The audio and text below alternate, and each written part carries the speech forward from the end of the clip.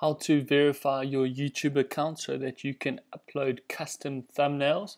Head into your channel at the top and let's go to YouTube Studio Beta. This is the updated version of the YouTube Studio. We're going to go to Settings and then Other Settings and Advanced Channel Settings. Then we're going to head up to status and features under the channel tab. And you'll see next to your profile picture, there will be a blue verify button. We want to click on that verify button.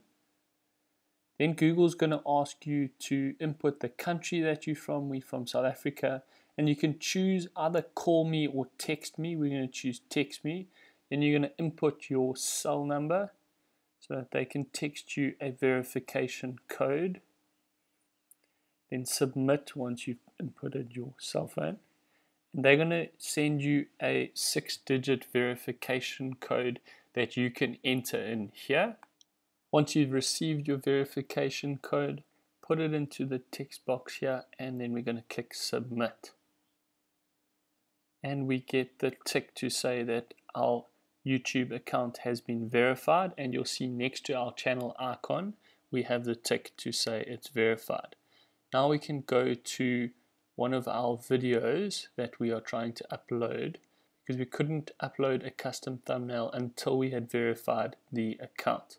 So we're going to head into our YouTube Studio beta. If you see my channel, we don't have any videos yet. So we're going to head into the YouTube Studio and edit our draft video. So go into your videos and you'll see we've got it as private here. So it's still a draft format. What you're going to do is you're going to click on the actual name of the video. So on it goes blue as a link and then it comes into this section where you can edit your video.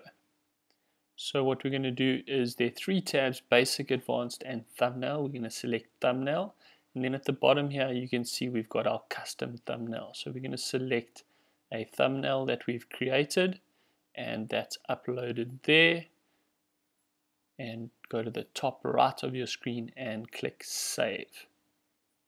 Once you've uploaded your custom thumbnail, we can then head back to the basic tab and update the video to public so that it gets published and click save. Now you have a verified YouTube account and you can upload your custom thumbnails. I hope you enjoyed this quick tutorial. If you have any questions or queries, please leave us a comment below and we'll be happy to help. If you're new here, subscribe to our channel. We make new videos every single day on how you can build your own YouTube channel. Thanks for watching and we'll see you in the next video.